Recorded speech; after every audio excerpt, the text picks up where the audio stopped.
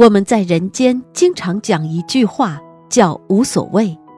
今天把它上升到佛法的理论来讲解。无所谓就是去烦恼。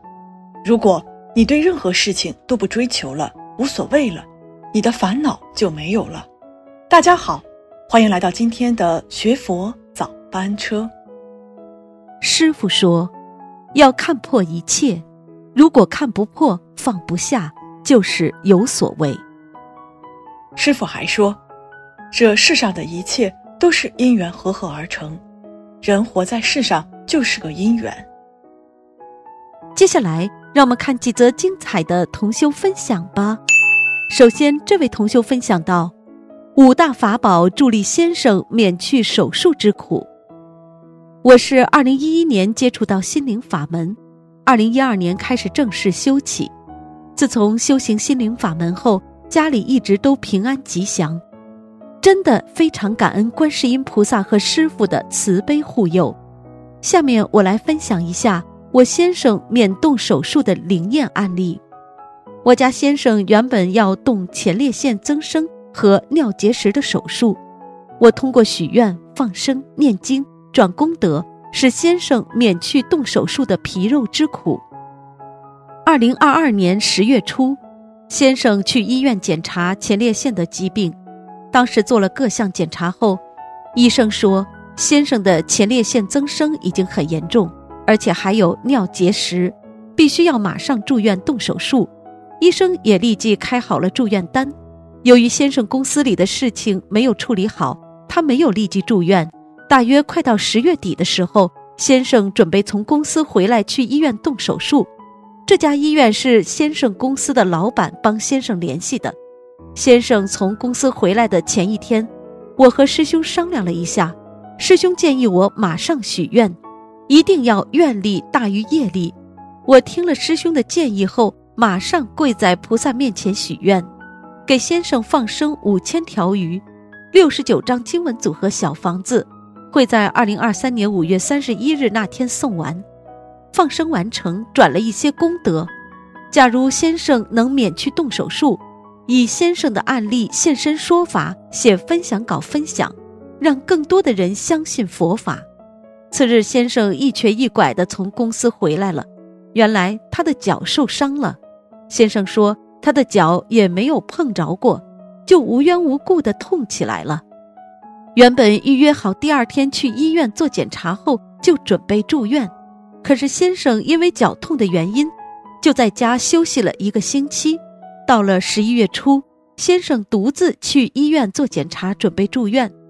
做完检查后，医生告诉先生不用住院动手术了，说症状不严重，配点药吃就可以了。先生回家后休息了几天，又去了好几家医院做检查。检查的结果都一样，不用动手术了，而且尿结石也没了，真的太感恩大慈大悲观世音菩萨慈悲保佑。感恩分享，这位同修分享到：感恩伟大的佛祖，感恩大慈大悲救苦救难观世音菩萨，感恩恩师，带师兄分享法喜事情。前几天师兄家里小孩突发急性阑尾炎，晚上十点才手术。师兄给助念大悲咒，手术很顺利，小孩正逢三六九，手术后伤口痛无胃口，师兄给小孩放生许愿念经，许愿给小孩要经者二十一张小房子，放生一千两百条鱼。师兄手里没有自存的小房子，在医院里也念不出来，感恩师兄助缘二十一张小房子，烧完二十一张小房子，梦到要经者需要六十九张。师兄继续许愿，给要经者再念四十八张，再加上师兄放生甲鱼、黑鱼、鲫鱼，一共超过两千条。小孩不到一周就顺利康复出院，感恩心灵法门灵验无比。师兄们一定不能懈怠，否则家人业力爆发很难挡灾。一定努力精进，好好学佛念经、忏悔还债，随缘消旧业，莫要造新业。世间一切不可得，多积累回天的资粮和功德。感恩同修的分享，这位同修分享到：感恩大慈大悲观世音菩萨。今天我分享一下我最近的灵验事件。哪怕是一个小小的事情。前一段时间听录音，师傅开示说，如果反光的佛台印在地板上，你脚踩着，你就有业障了，要铺块红地毯。我一看我家佛台，虽然菩萨像没有反光到地板上，但是供的富贵竹有反光到地上了，这样走过的时候就会踩着富贵竹的倒影。我心有芥蒂，也买了地毯铺上。我家孩子明年高考需要户口本，高考报名，在中国高考是多么的重要，记性差，找了半天都没找着，急得不得了。我就想不找了。先铺佛台前面的地垫，我一边铺一边想，我把铺地垫功德换找到户口本，就这个意念，两至三秒钟想起户口本在哪里了，精准找到户口本，感恩大慈大悲观世音菩萨慈悲，感恩师傅把这么好的心灵法门带给我们。感恩分享，这位同修分享到：师兄们，大家好。我因为股骨颈骨折打了三根钢钉，因为有一根钢钉太长了，磨着上面的骨头了，需要把那根钢钉取出来，要手术而住院。九日做手术，感恩佛缘让我遇到这么好的心灵法门，遇到这么多好师兄。手术时，师兄们不仅慈悲的为我助念，而且还慷慨解囊为我放生，在观世音菩萨的加持下。因此，我的手术非常成功，非常顺利。感恩菩萨妈妈，感恩师傅，感恩生命中的一切缘分。另外，我再分享一下，动手术前，主治医生看了片子说，股骨颈骨折很难长好，很容易坏死。他做那么多手术，只有两个没有坏死，我就是其中之一。他说太不可思议了，我就告诉主治医生说，我信观世音菩萨。是菩萨保佑我的。我们今天能遇到这么好的心灵法门，一定要好好珍惜。一门精进，学佛念经，弘法度众。我会好好修心学佛，报佛恩。分享结束。如果有不如理、不如法之处，请大慈大悲观世音菩萨慈悲原谅。同修自己的业障自己背，不让师父背，不让师兄们背。接下来，让我们来听师傅的精彩开示吧。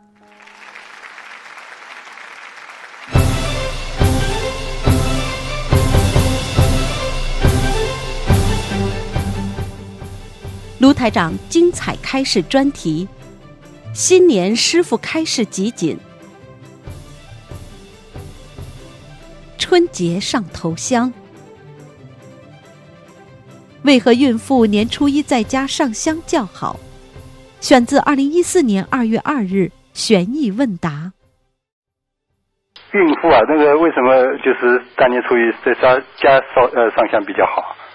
孕妇到大年初一嘛，两个问题啊，在阳间讲起来，小孩子被挤掉呀，烧头香，你去那个庙里做挤啊？啊，对啊。这第一个，第二个，孕妇她因为本身是带着一种血光的。